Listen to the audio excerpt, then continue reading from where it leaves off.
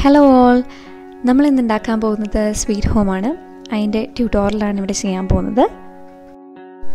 നമ്മളതിനായിട്ട് ആദ്യം തന്നെ ഒരു യൂസ്ഡ് മാച്ച് ബോക്സ് ആണ് എടുക്കുന്നത്.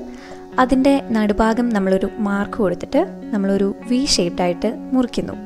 അത് തന്നെ ഫ്രണ്ടിലും ബാക്കിലും നമ്മൾ ചെയ്യാണ്.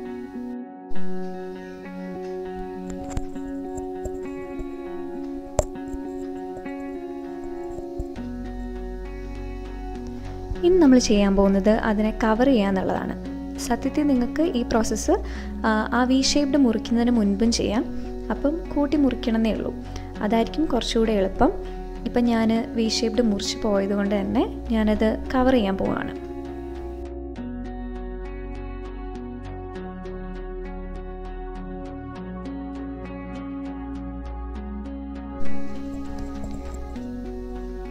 അതിന്റെ കോർണേഴ്സൊക്കെ ക്ലീൻ ചെയ്ത് മുറിക്കണം.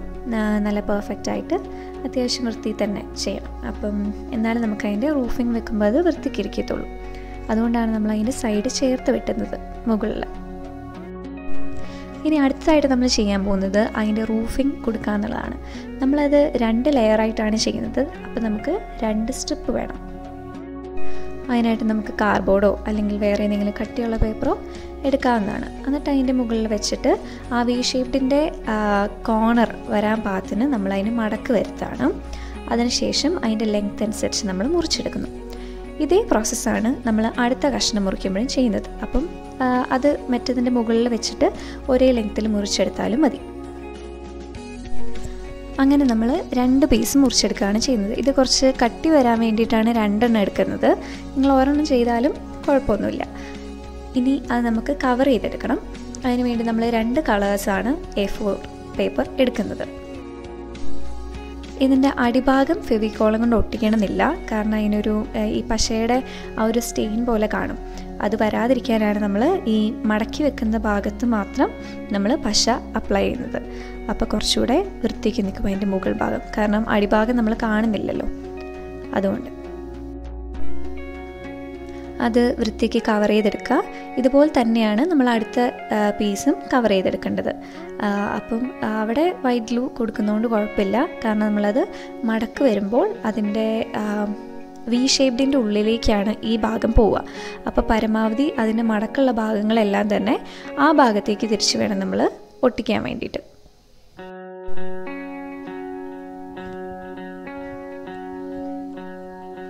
ഇനി നമ്മൾ ആദ്യം തന്നെ കൊടുത്തൊരു മടക്കുണ്ട് അതിന്റെ അടിയിലുള്ള കാർഡ്ബോർഡ് കഷ്ണത്തിന്.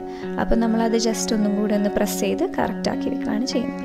ഇനി അടുത്തതും കവർ ചെയ്യുക അതുപോലെ തന്നെയാണ് ചെയ്യുന്നത്. അതിനുശേഷം ഇത് രണ്ടും കൂടെ നമ്മൾ ആ വി ഷേപ്ഡ് ആയിട്ടുള്ള നമ്മൾ ഉണ്ടാക്കി മുറിച്ച് വെച്ചിരിക്കുന്ന സാധനത്തിന്റെ മുകളിലേക്ക് ഒട്ടിക്കുന്നു.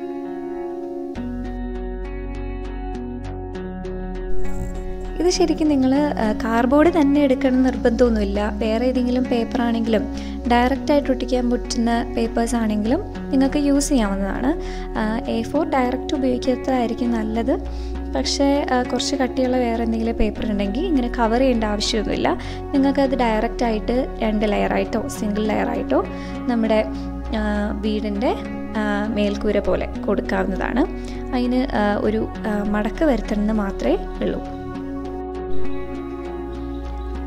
ഇപ്പം നമ്മുടെ രണ്ട് പീസും റെഡിയായി. റെഡും ഒരെണ്ണം ബ്ലൂ ആണ് ഞാൻ എടുത്തിരിക്കുന്നത്. അതിന്റെ സൈഡൊക്കെ ഒന്ന് വൃത്തിയായിട്ട് കൊടുക്കാം. എന്തെങ്കിലും കഷ്ണം പുറത്തേക്ക് നിൽക്കുന്നുണ്ടെങ്കിൽ അതൊക്കെ ഒന്ന് മുറിച്ച് വൃത്തിയായിട്ട് നമ്മൾ രണ്ട് പീസും എടുക്കും. ഇനി നമ്മൾ ഏതെങ്കിലും ഒരു സ്ട്രോങ് ഗം എടുക്കുന്നു. ഫെവിക്വിക്കോ അങ്ങനെ ഏതെങ്കിലും ഒരെണ്ണം. അതിനുശേഷം അതിന്റെ ബോർഡറിൽ മാത്രം നമ്മൾ ലൈനിങ് പോലെ കൊടുക്കുകയാണ്. അതിന്റെ മുകളിലേക്കാണ് നമ്മളെ കാർഡ്ബോർഡ് പീസ് നമ്മൾ ഒട്ടിക്കാൻ പോകുന്നത്.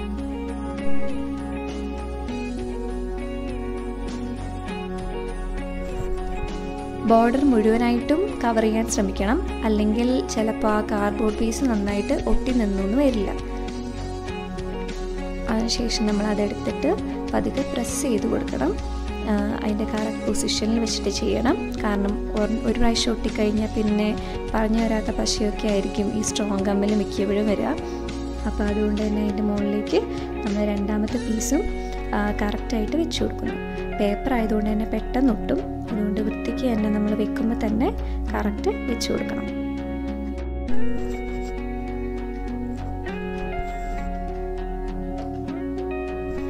ഏകദേശം നമ്മുടെ റൂഫിങ് ശരിയായിട്ടുണ്ട്. നമ്മൾ ആകെ ഒരു ലെയറും കൂടി അതിന്റെ മുകളിലേക്ക് കൊടുക്കുന്നുള്ളൂ. അത് നമുക്ക് കുറച്ച് ആഡ് ചെയ്യാം. ഇനി നമ്മൾ ചെയ്യാൻ പോകുന്ന അതിന്റെ ഫ്രണ്ട് ഭാഗത്തുള്ള എന്തെങ്കിലും ഡെക്കറേഷനോ എന്തെങ്കിലും എഴുതാനോ ഒട്ടിക്കാനോ ഒക്കെ ഉണ്ടെങ്കിൽ അതാണ്.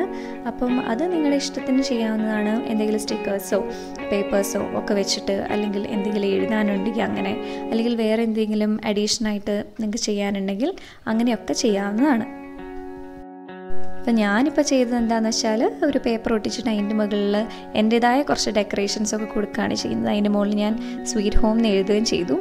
അപ്പം അതൊക്കെയാണ് ഞാൻ ചെയ്തിരിക്കുന്നത്. നിങ്ങൾക്ക് ഇഷ്ടമുള്ളത് നിങ്ങൾക്ക് ചെയ്യാം.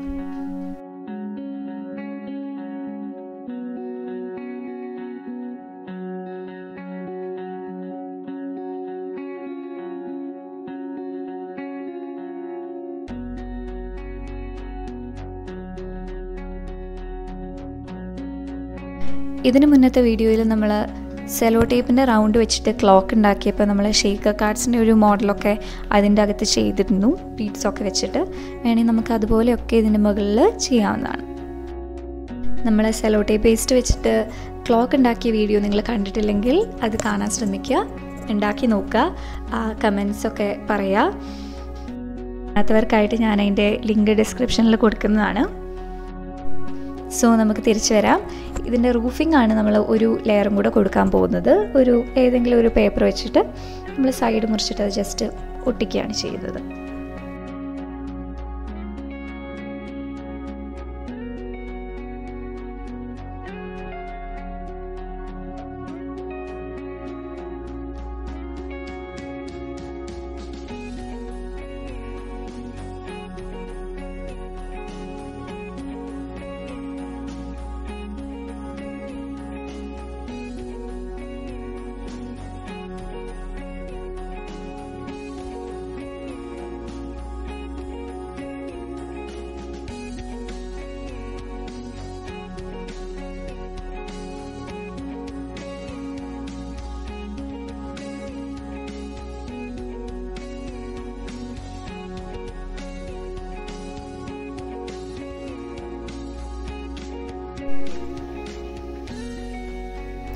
നമ്മൾ ഏകദേശം അതിന്റെ ഡെക്കറേഷനൊക്കെ തീർത്തിരിക്കുകയാണ്. ഇനി നമ്മൾ ചെയ്യാൻ പോകുന്നത് അതിന്റെ നാല് വശത്തും അതിനൊരു സ്റ്റാൻഡ് പോലെ ഉണ്ടാക്കുകയാണ്. അതിന് നമ്മൾ നാല് ടൂത്ത് പിക്സ് എടുക്കുന്നു. അതിന് മുകളിൽ നമ്മൾ ഈ സ്ട്രോങ് ഗം പകുതി വരെ തേച്ചിട്ട് നമ്മളതിന്റെ ഉള്ളിലേക്ക് ഇൻസേർട്ട് ചെയ്യുന്നു കോർണേഴ്സിലേക്ക് അപ്പോൾ കോർണേഴ്സിലേക്ക് ചേർന്നിരിക്കാൻ പാത്തിന് വേണ്ട നമ്മൾ അത് ഒട്ടിക്കാൻ വേണ്ടിയിട്ട് അത് നന്നായി ഉറപ്പിച്ച് വെച്ചതിന് ശേഷം എന്തെങ്കിലും ഒരു സാധനം എടുത്ത് ജസ്റ്റ് അതൊന്ന് പ്രസ് ചെയ്ത് കൊടുക്കാൻ ശ്രമിക്കുക. കൈ കൊണ്ട് പ്രസ് ചെയ്ത് ചിലപ്പോൾ ഒട്ടി പോകുമായിരിക്കും അതുകൊണ്ട് വേറെ എന്തെങ്കിലും വെച്ചിട്ട് നമ്മളൊന്ന് പ്രസ് ചെയ്ത് കൊടുക്കാൻ ശ്രദ്ധിക്കണം. എന്നിട്ട് അത് സ്ട്രോങ് ആണോ അത് ഒട്ടിയോ എന്ന് നമ്മളൊന്ന് ചെക്ക് ചെയ്യണം. നാലെണ്ണവും നമ്മൾ ഒട്ടിച്ചു കഴിയുമ്പോൾ നമ്മളത് സ്ട്രോങ് ആണോ എന്ന് ചെക്ക് ചെയ്യണം. അതിന് ശേഷമാണ് നമ്മൾ അതിന്റെ ബാലൻസിങ് നോക്കുന്നത്. അതിപ്പോൾ തന്നെ ചിലപ്പോൾ നിൽക്കണമെന്നില്ല നമ്മൾ അതിന്റെ അടിവശം കുറച്ച് മുറിച്ച് കളയേണ്ടതൊക്കെ വരും.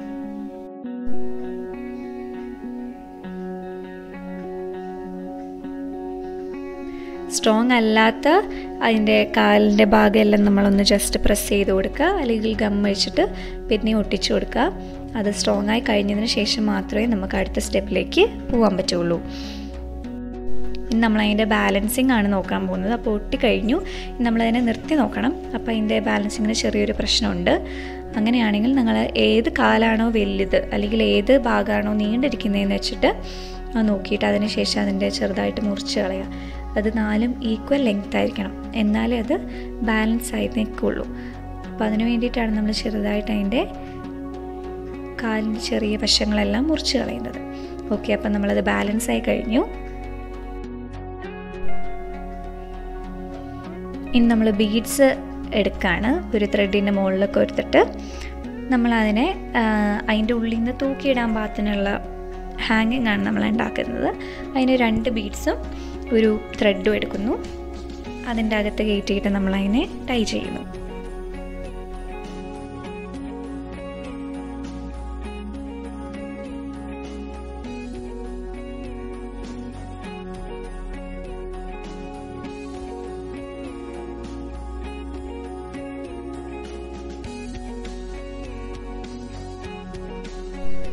ഒരു ത്രെഡിന്റെ രണ്ട് വശത്തൂടെയും രണ്ട് ബീഡ്സ് കയറ്റിയിട്ട് നമ്മൾ സൈഡ് രണ്ടും കെട്ടാണ് ചെയ്യുന്നത്. എന്നാലേ നമുക്ക് അതിന്റെ അകത്ത് കുരുങ്ങി കിടക്കത്തുള്ളൂ. അപ്പോൾ നമ്മുടെ ത്രെഡ് റെഡിയായി കഴിഞ്ഞു ഇനി നമ്മളത് മുറിച്ച് ജസ്റ്റ് ഒന്ന് റെഡിയാക്കിയിട്ട് അതിന്റെ അറ്റത്ത് നമ്മൾ സൂപ്പർ ഗ്ലൂ തേച്ചിട്ട് അതിന്റെ ഉള്ളിലേക്ക് നമ്മൾ ഒട്ടിച്ചു കൊടുക്കുകയാണ് ചെയ്യുന്നത്. അതെന്തെങ്കിലും ഒരു സാധനം വെച്ചിട്ട് നമ്മളത് ജസ്റ്റ് പ്രസ് ചെയ്ത് കൊടുക്കുക. ആ ത്രെഡ് മുറിച്ചതിന് ശേഷം രണ്ട് കഷ്ണമായിട്ട് വേണമെങ്കിൽ നമ്മൾക്ക് ഒട്ടിക്കാൻ പറ്റും. അത് ഒരുമിച്ച് ഒട്ടുന്നില്ലെങ്കിൽ നമുക്ക് അങ്ങനെ ചെയ്യാം. ഇനി അഥവാ ഒട്ടുന്നുണ്ടെങ്കിൽ അങ്ങനെ തന്നെ ആയിരിക്കും നല്ലത്. ഒന്നിച്ച് നിൽക്കുന്നതാണ് നല്ലത്. എനിക്കത് ഒന്നിച്ച് നിൽക്കാത്തതുകൊണ്ട് തന്നെ ഞാനത് മുറിച്ചിട്ടാണ് ചെയ്തത്. അപ്പോൾ അത് സെപ്പറേറ്റ് ആയിട്ട് രണ്ട് ത്രെഡിലെയും ഒട്ടിച്ചു കൊടുക്കേണ്ടി വരും. ഇതിപ്പോൾ ബീഡ് തന്നെ നിങ്ങൾക്ക് തൂക്കിയിടണമെന്നില്ല. നിങ്ങൾക്ക് വേണമെങ്കിൽ പേപ്പർ മുറിച്ചിട്ട് വേറെ എന്തെങ്കിലും സ്റ്റിക്കേഴ്സോ അങ്ങനെ എന്തെങ്കിലും വിഷോ അങ്ങനെ എന്തെങ്കിലും ആണ് ആഗ്രഹമെങ്കിൽ അങ്ങനെ നമുക്ക് ഹാങ് ചെയ്യാവുന്നതാണ്.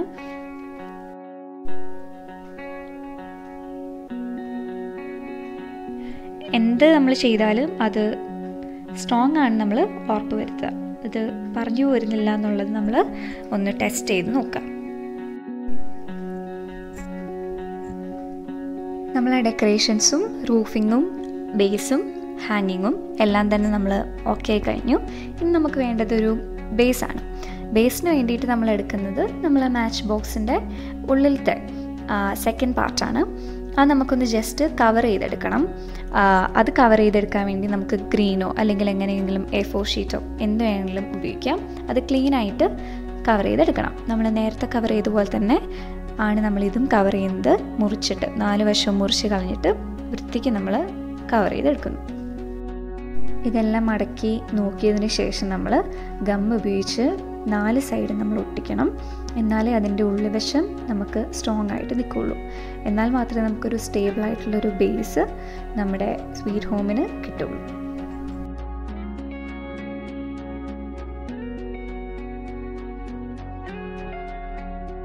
സോ നമ്മൾ പെർഫെക്റ്റ് ആയിട്ട് ഒട്ടിച്ച് കഴിഞ്ഞു. ഇനി നമ്മൾ അതിന്റെ ഉൾവശവും കൂടെ മറക്കുകയാണ്. അതിന് ഞാൻ ഗ്രീൻ പേപ്പർ തന്നെയാണ് ഉപയോഗിക്കുന്നത്.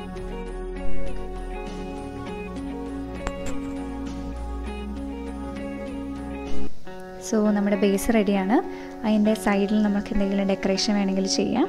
ഞാനിവിടെ ജസ്റ്റ് ഒരു ഗ്രീൻ പേപ്പർ മുറിച്ചിട്ട് ഒട്ടിക്കുകയാണ് ചെയ്യുന്നത്. അതിന്റെ രണ്ട് സൈഡും ബെൻഡ് ചെയ്തിരിക്കുന്നു എന്ന് നമ്മൾ ഉറപ്പ് വരുത്തണം.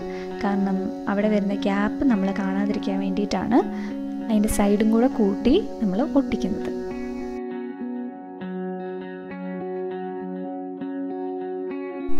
നമ്മുടെ ബേസ് റെഡിയായി ചെറിയ എന്തെങ്കിലും സ്റ്റിക്കേഴ്സ് വേണമെങ്കിൽ ഒട്ടിക്കാം. അതിനുശേഷം നമ്മൾ നമ്മുടെ സ്വീറ്റ് ഹോമിന്റെ നാല് ടൂത്ത് പിക്സിന്റെ സൈഡിലേക്ക് നമ്മൾ സ്ട്രോങ് ഗമ്മ് തേക്കുന്നു. അത് ജസ്റ്റ് ഡയറക്റ്റ് ആയിട്ട് നമ്മൾ അതിന്റെ മുകളിലേക്ക് പ്രസ് ചെയ്ത് കൊടുക്കുകയാണ് ചെയ്യുന്നത്. അതൊന്ന് ജസ്റ്റ് കുറച്ച് സമയം അങ്ങനെ തന്നെ വെക്കുക. കുറച്ച് സമയം കഴിയുമ്പം അത് പൊട്ടിയിട്ടുണ്ടാവും. സോ നമ്മുടെ സ്വീറ്റ് ഹോം റെഡിയാണ് നിങ്ങൾ തീർച്ചയായിട്ടും ഉണ്ടാക്കി നോക്കുക. വീഡിയോ ഇഷ്ടപ്പെട്ടെങ്കിൽ സബ്സ്ക്രൈബ് ചെയ്യുക ലൈക്ക് ചെയ്യുക. താങ്ക്